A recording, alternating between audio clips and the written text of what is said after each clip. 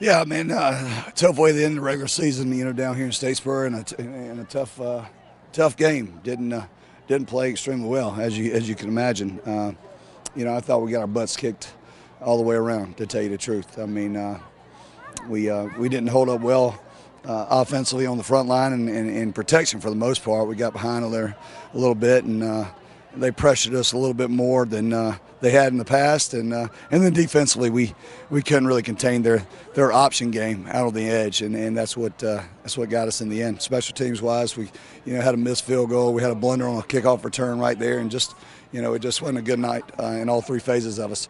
But uh, you know you learn from these things, you learn from the struggles, you learn from from some of these mishaps, and you know we're playing with a gutsy group of guys. You know some of those guys out there that you know, they shouldn't even be out there playing, and, and they will themselves to go out there and, and, and try to give us a win. So, uh, so I'm very, very proud of them. Not very proud of the, the, uh, the outcome, of course, but uh, like I said, we'll learn from these struggles and we'll push forward to be better. Coach, um, after a tough game like this, what was the message to the team in the locker room? That we got our butts kicked. I mean, that's exactly what the message of the team is. Uh, you know, you you, you got to establish something, and we established nothing tonight, and that was the, the most disappointing thing. You know, uh, you, you, have to address some issues that we had before the game, and uh, and understand that, that, that's not who we are. You know, there was there was a couple mishaps before the game, some mouthing. Uh, I told them that's not who we are. You know, you get you let that stuff happen before a game, and you, and you're defeated before you even go out. So I was very very disappointed in that, and and uh, and I really didn't even see how it went down. But uh, uh it's not who we are. Georgia Southern was able to get Dan out of the pocket a lot, get him off his feet. Do you think that affected some of the third downs? Oh, I certainly do. I mean, that's what I meant by up front. I mean, we, we didn't pr- protect very well. We got in a throwing situation, and and uh, something they haven't done all year was was pressure, and they brought more pressure than usual and got Dan out of the pocket a little bit. And you know, when you got a you got a quarterback that, that, that doesn't have all the mobility right there, that's that's going to hurt you. And he you know, he wow, what an effort that uh, for him to go out there and, and, and try to do the things he did. I mean, it's still still unbelievable.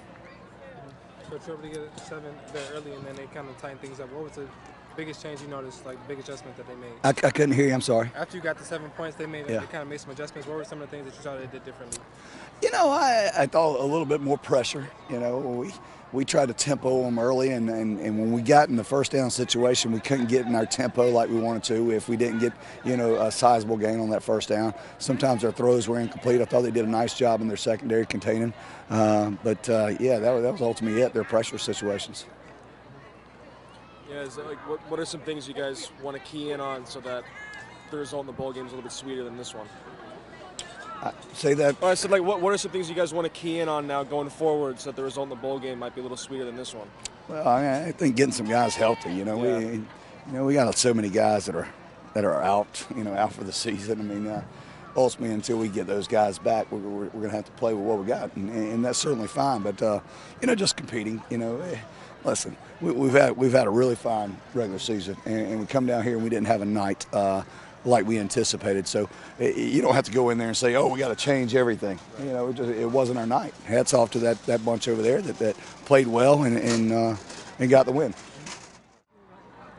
All right, Dan. Obviously, you guys got seven points early, and they kind of switched some things up. And what kind of looks were you getting out there? Uh, it was the same looks. We just didn't execute the way we should have executed on offense. Uh, I thought a little adversity hit us. Uh, when that adversity hit us, we didn't know how to respond. Uh, you can put that on me. I got to lead us better, and I got to uh, I got to make sure that you know we we respond to adversity. So you can put those. I can put that on my shoulders. Um, I got to make sure that we keep continuing to strike, and uh, you know I just put all of it on me.